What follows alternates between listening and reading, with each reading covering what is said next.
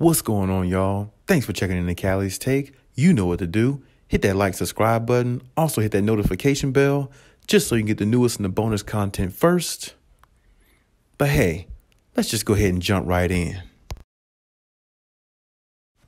You know, it's no secret that the Clippers have been an amazing team. It's no secret that they have been, you know, a team that a lot of people can look at and revere in the way of how you play even without all your players there and continue to fight every night and understand that every game counts the same with or without your superstars and you still have to play at a high level as much as you can.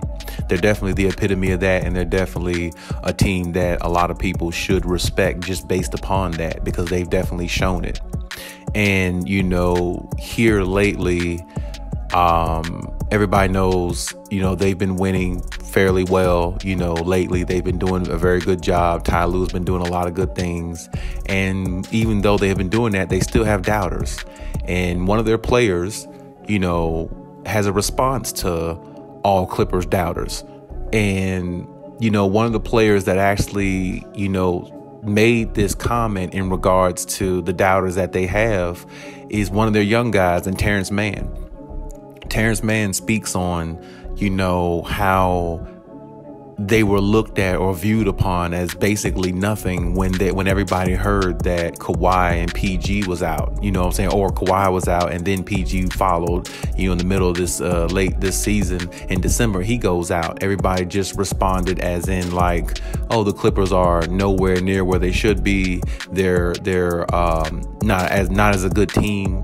And basically, Terance Mann was saying that everybody wrote them off too early. And I have to give Terance Mann credit on that because he basically is saying the truth. Nothing other than that. I mean, because a lot of people had doubts about this team. A lot of people definitely looked at this team as like going under. And I can remember even Charles Barkley in the early, in the early part of the season, you know, when they spoke on uh, the Clippers on TNT. It was maybe the first month or two in the season, and you know, Charles Barkley made a statement saying that he wonders where the Clippers are going to be. You know, what I'm saying in regards to like playoff things like that until Kawhi Leonard comes back, and you know all those type things. And you know, the Clippers were going through you know COVID and injuries and stuff like that at the time as well too. And hearing that statement way back then, looking at the Clippers now, it, it, it's it's all come to fruition in regards to like where they're to be.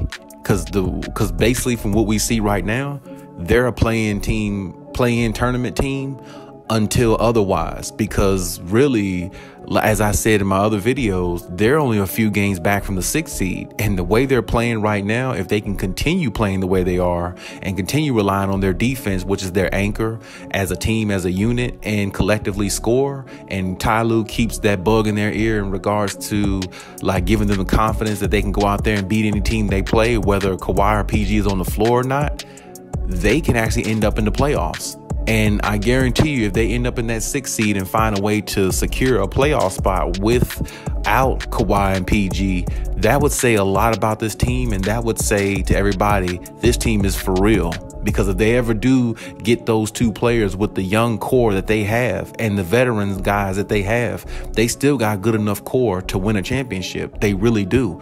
And when you look at this team from afar, you wouldn't say that by looking at the roster, but they got some dogs on defense still. They still got Marcus Morris who, who gets physical.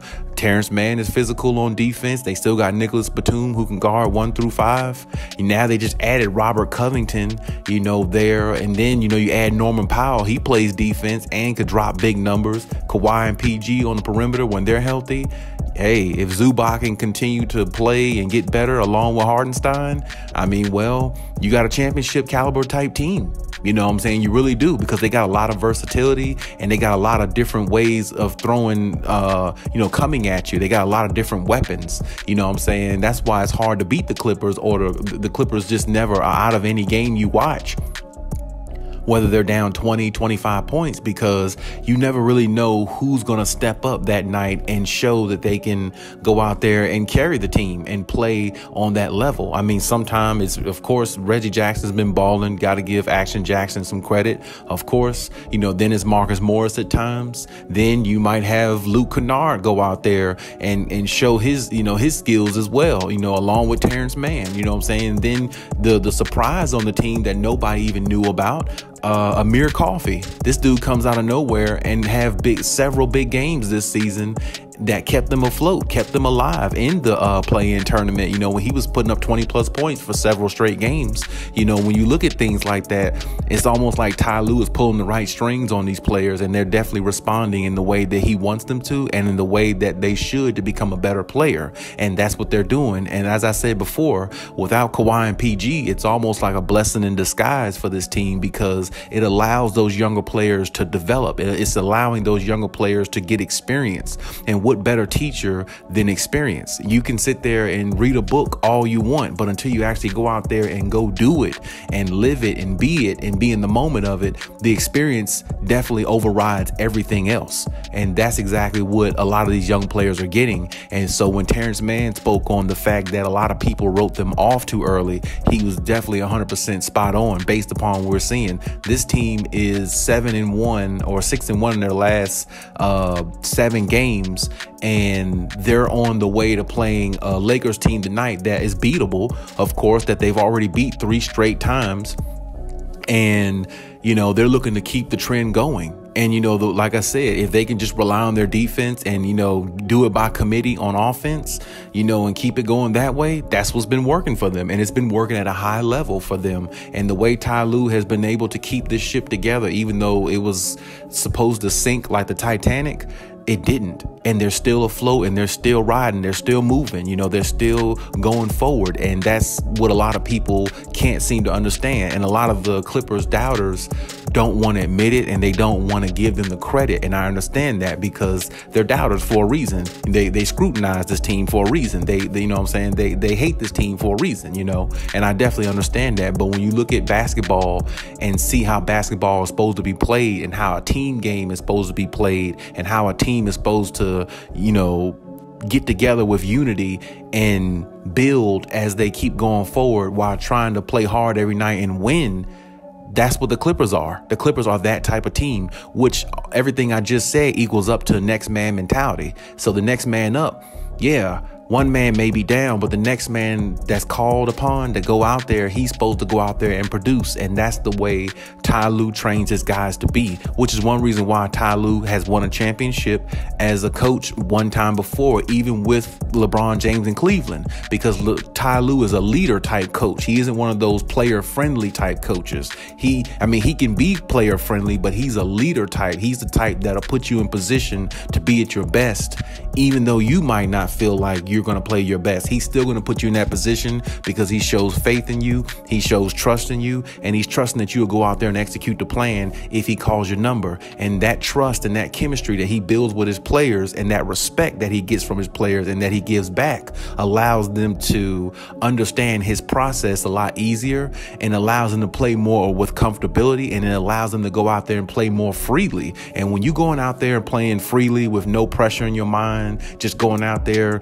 trying to execute everything we talked about and just playing with an open mind, it makes you play better at times than you would if you're uptight and got more pressure on you, of course. So I feel like with Ty Lue implementing those type of things to the players, it makes them more comfortable in their own skin going out there playing against a LeBron, playing against a Russell Westbrook, a Kevin Durant, or a Jokic, or a Joel Embiid, or anybody you can think of, because all the people I just named, they've knocked all of them off. They've beaten the Lakers. They came back from I think a 20 point lead against the Nets and beat them with James Harden at the time. They've beaten. Um, they came back from a 20 plus point lead I think against Philly Philly, came back and beat Joel Embiid, the possible MVP of this year. They've beaten Jokic, the reigning MVP of last year, down 25 points. And, you know, they've beaten the Lakers three times this season. So when you look at this team, they're really, really well put together and they're really, really coached really, really well. And only other team I would say that's coached as good as this one or a coach